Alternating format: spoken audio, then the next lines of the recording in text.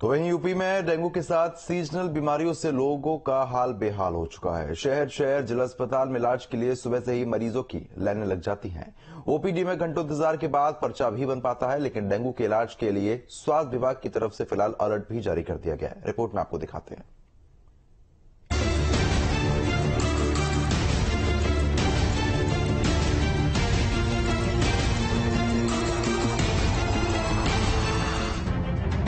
बदलते मौसम के साथ ही प्रदेश में एक बार फिर से डेंगू।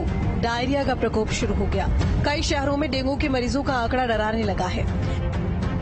नोएडा, गाजियाबाद, लखनऊ, कोशाम्बी सहित कई शहरों में पिछले कुछ दिनों में डेंगू के सौ से अधिक नए मामले सामने आ चुके हैं। बात नोएडा की करें तो यहाँ पाँच दिन में डेंगू के तीस से अधिक केस सामने आ चुके हैं। ज़िले में डेंगू मरीजों की संख्या सौ के करीब पहुँच गई है। डेंगू मलेरिया के बढ़ते केस के बीच स्वास्थ्य विभाग अलर्ट पर है। इलाज को लेकर निजी हॉस्पिटल को खास गाइडलाइन जारी किया गया है।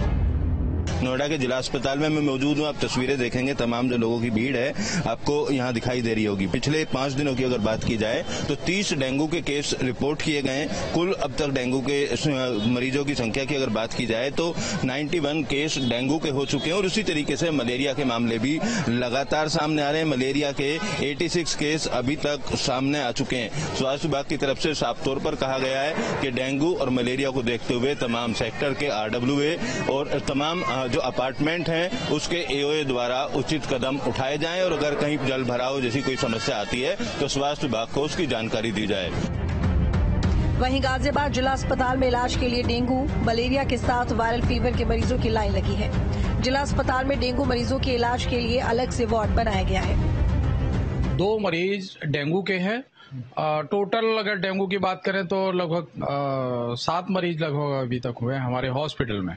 मैं अपने एमएमजी हॉस्पिटल की बात करता हूँ।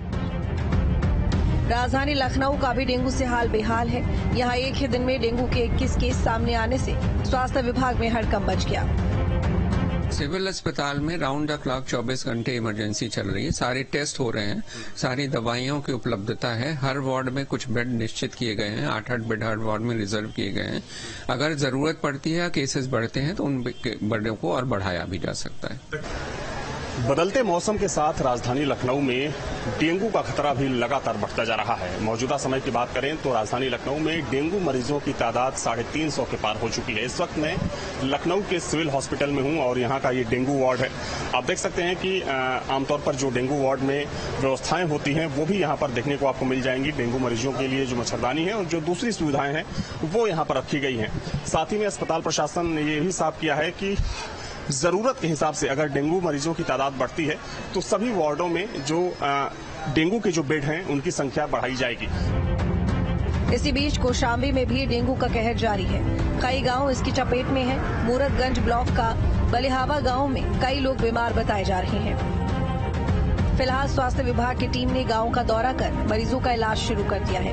उधर ललितपुर में डायरिया का प्रकोप देखने को मिल रहा है। डायरिया से जहाँ एक ग्रामीण की मौत हो गई तो वहीं 12 से अधिक लोग बीमार बताए जा रहे हैं। फ़िलहाल डेंगू, मलेरिया सहित वायरल फीवर को लेकर प्रदेश में स्वास्थ्य विभाग अलर्ट पर है। हर स्थिति पर स्वास्थ्य अधिकारी नज़र बनाए हुए हैं।